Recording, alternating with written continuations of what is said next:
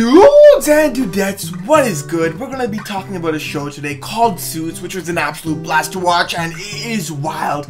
So this show is basically about a law, about a drug dealer, a guy who went, uh, who made a few wrong decisions in life, and then ends up becoming a drug dealer. And finally, to get us uh, get away from the cops, he walks right into a lawyer interview to become a partner, or not a partner, but like um an associate for a senior partner at a firm and he gets the job. But the thing here is he does not have a degree and uh, he does not have a law degree and the firm he's going to be working for is the best law firm in New York and they only accept people from Harvard. So a guy with no degree suddenly gets hired and his partner knows it. So basically we're seeing a lawyer protecting the law enforcing the law while at the same time breaking the law so that's pretty wild to watch. And I mean, this show on top of that is just absolutely wild, exciting, amazing, interesting. It's just really fun to watch. I mean, everything about this uh, show is character driven. Like, the, the plot is great and all, but it does get repetitive at times because, like, all you're really seeing is case solved after case solved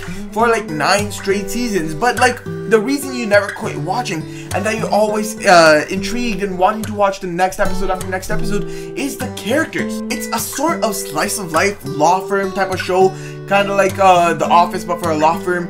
It's that type of show which you really enjoy watching because of the characters. I mean, there's a, such a wide variety of characters. There's Harvey Specter, the, the best lawyer in New York City, the best closer, the guy who's just really cocky and acts like he's good at everything. There's Mike Ross, the dude who doesn't have a law degree but is a lawyer and he just has photographic memory, which is the reason he's such a good lawyer, achieving his dreams and everything like that plays out. Like the story is well written, of course. Like even though it feels repetitive, it's well written to a point where you want to keep watching what happens next. You watch, all, you love to watch all these characters interact with one another. All these characters have their own great points, weak points. You love to see all of them interact, all of them become friends, all of them grow. You love to see how all the characters hate some characters and then turn to love one character and then start hating other characters. There's just so many complex relationships in this show. Watching all these characters grow, watching all their personalities clash, grow with one another, interact with one another. It's just so enveloping, intriguing, all that just to watch these characters work with one another, how they solve cases together, how how they're willing to break the law to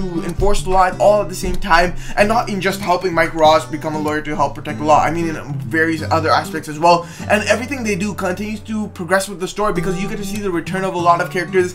You get to see how their actions lead to different consequences, how they might have to go to jail just for enforcing the law, and how the justice system really is messed up in certain aspects. There's just so much going on in the life of a lawyer that you just really get to explore. There's there then there's always the anticipated moments of where Mike Ross's hidden uh lawyer degree that never exists and him being a lawyer that entire expose occurs there's just so much you're expecting to see so much you're not expecting to see that goes on. You love to see all you love to see all the growth and development for these characters and you just truly love all the different aspects of this show so yeah if you're looking for a character driven show with a wide variety of interesting characters you love to hate then fall in love with what characters to watch because they just continuously make shows interesting you love to see their relationships this is a show for you. It's called Suits. You will love it. Rate it at 85%. I know you guys will love it, so be sure to check it out. And let me know down in the comment section below if you've seen it, what you rate it, what do you think of it, which character is your favorite, what aspects of the show do you like, what aspects do you hate. Let me know down in the comment section below what you guys think of this show.